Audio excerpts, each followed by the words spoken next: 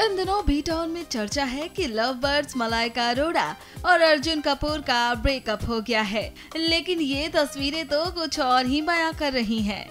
मलाइका, अरोड़ा और अर्जुन कपूर एक बार फिर एक साथ स्पॉट हुए और उनकी ये वीडियो वायरल हो गई।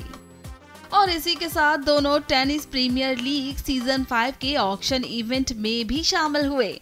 यहाँ कई सितारों ने शिरकत की। लेकिन इस इवेंट में भी सारी लाइमलाइट बी टाउन के फ़ेमस कपल मलाइका अरोड़ा और अर्जुन कपूर ने लूट ली।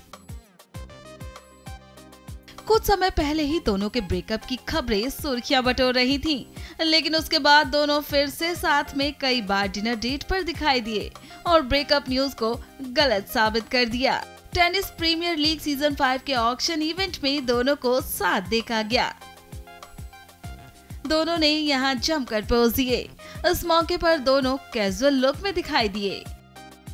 एक तरफ़ मलाइका अरोड़ा, जहाँ इस इवेंट में ब्लैक टी शर्ट और डेनिम जीन्स पहने नज़र आई। वहीं दूसरी तरफ़ अर्जुन भी बियर्ड लुक में ब्लू टी शर्ट और ब्लैक जीन्स में दिखाई दिए। इस इवेंट में मलाइका और अर्जुन के अलावा actress Rakul Preet Sonali Bendre tennis star Sania Mirza actor Sonu Sood actress Taapsee Pannu ने भी शिरकत की।